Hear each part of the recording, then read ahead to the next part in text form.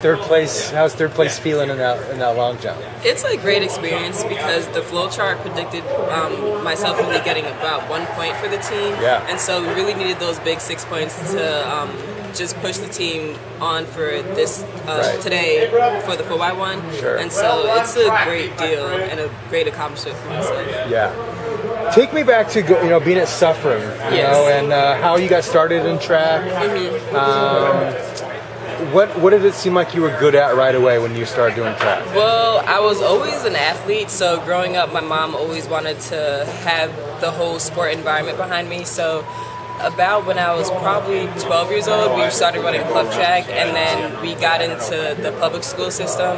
And so, from then, Coach Biddy and Coach Dempsey really like pushed the running part, and then jumping. It was more of my junior year. I see.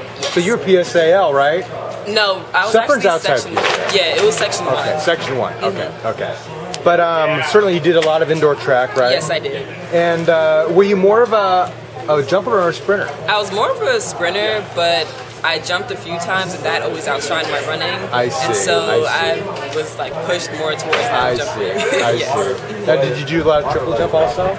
Not really. I did Yeah. triple jump only for conference this year. I see. Um, the last time I triple jumped was my junior year in high school. Yeah. And so you got you guys will see me more on the triple jump runway next year. I next see. season.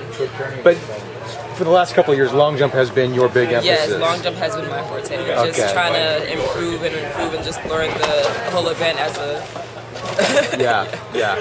How much progress do you think you made this particular season in the long jump?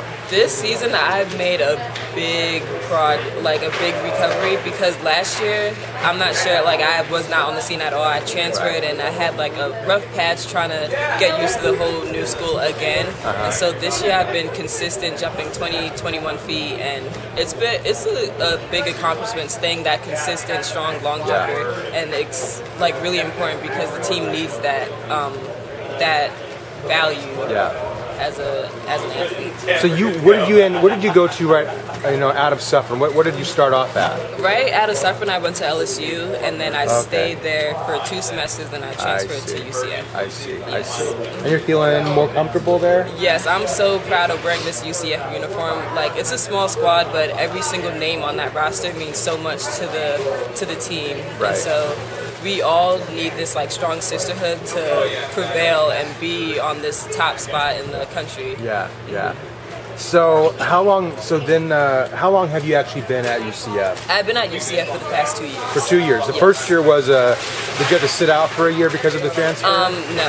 The first year, I had the, I used my one-time transfer, okay. and so I, I didn't have to sit out. anymore. Okay. Okay. But um, what kind of an indoor season did, did you do? Much of an indoor season Yes, this year? I And did. how did that go? It um, it went all right.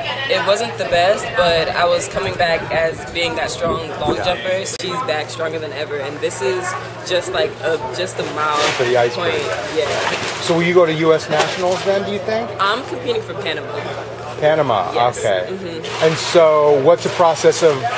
Will you, will you get a?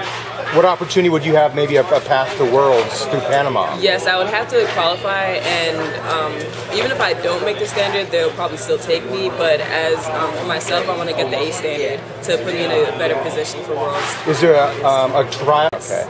And so, if you um, the meet in Colombia, does that have implications for the Panamanian team? Yes, it's um, basically the Central American Games. I see. And like Okay. you know the CAC, the right, Caribbean. right, yes, right. it's um, that meet. So Panama will choose their team partly based on what happens there. Yes, it, they will. I see. Great, great. Good luck. Yes, thank Thank you you. very much.